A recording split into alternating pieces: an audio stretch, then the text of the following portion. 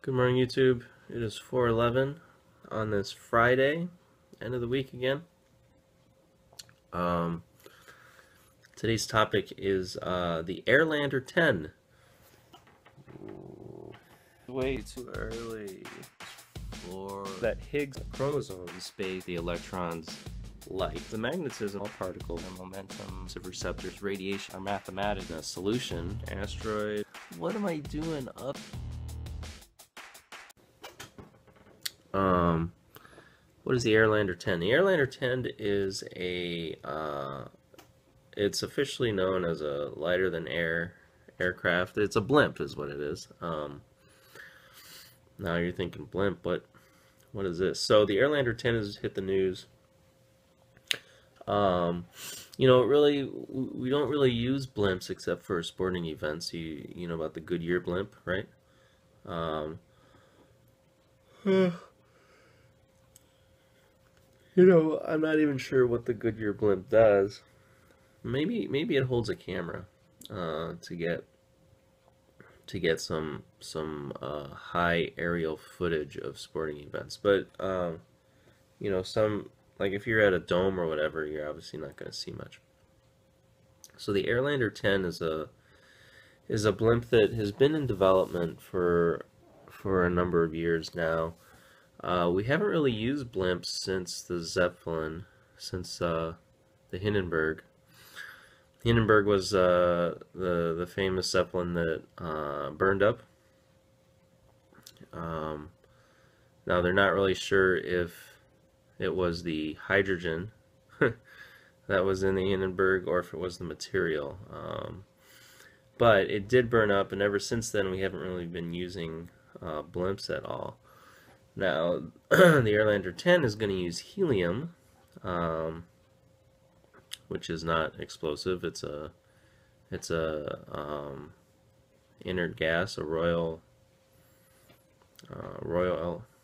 It's not called a royal element. It, it's the one on, on the far side of the table. Um, it doesn't react to stuff. Uh, the material that, that the that it's made out of will be um, or is uh, a mix of carbon fiber, Kevlar, and Mylar. So um, I forget what the the Hindenburg was made out of. That stuff was really um, highly flammable, so that contributed to to its demise. Uh, this Airlander 10, let's let's see some design specs here. It'll be huge when it's made. It'll be the largest aircraft uh, that we have. It'll be longer than uh, a soccer field, a soccer pitch. Um, it'll be uh, it'll be able to carry 10 tons, which is amazing. Um, that's a whole lot of material lifting power. Uh, it, it the design will be a little different than a standard blimp though. It'll it'll have a um, a lifting body design. If if you let's explain what a lifting body is. Um, lifting body is is a shape that when the air flows over it, it creates lift. So uh, an airfoil is a lifting body, um, but with this, the actual body of the blimp will be shaped such that when air flows over it, it, it wants to, to rise. So it'll have that, it'll have its, um, it'll have,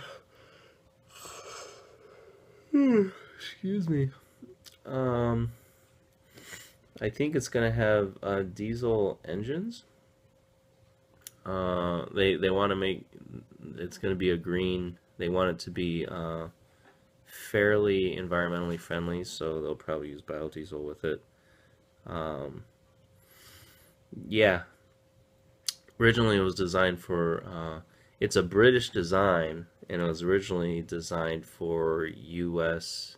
military, but I guess the U.S. military backed out because, you know, interest in um, in um, blimps has has really faltered and like I said, we haven't really used it since the the Hindenburg, but there's been interest to bring it back, and then you know that interest will die, and then a couple years later, more interest will will exist to, to bring it back, and then that'll die. And you know, lately the U.S. government, so the U.S. government pulled out of this design, but I guess there's British backing to uh, actually move forward with this, and they want the Airlander 10 to to enter service uh, next year sometime, 2016 sometime.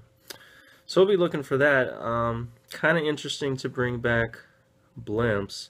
NASA has some interest in blimps. Um, Border Patrol, uh, rescue, maybe not rescue, but like disaster, um, disaster relief is interested in blimps because, you know, you can take off from anywhere, land anywhere. You don't need like a large, well, you need something large enough to accommodate the size of the blimp, but you don't need like, oh, that just turned on, yeah you don't need like a runway or whatever. So um, it can carry 10 tons. So you know they're they're talking a little bit about how um, maybe um, you know those poles for those wind turbines. Like if if you're trying to build a wind turbine farm, those poles are really heavy, and the only way to move them right now is to plow a road and and have trucks carry them. Well, you know if they could get a blimp to do that, then they don't have to destroy uh,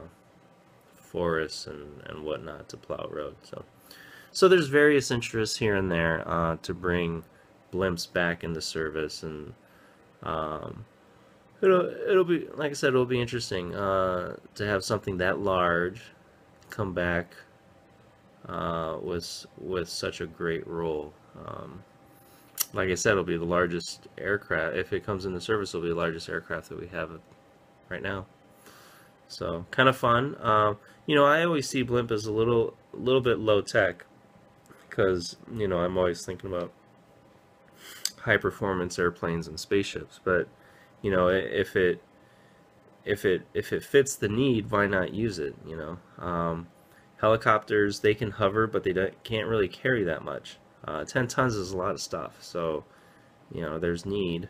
So might as well might as well get it and use it. Okay, um, I gotta get to work. You gotta go do whatever it is you do. I'll talk to you tomorrow. No, it's the weekend. Have a good weekend. We'll talk to you on Monday.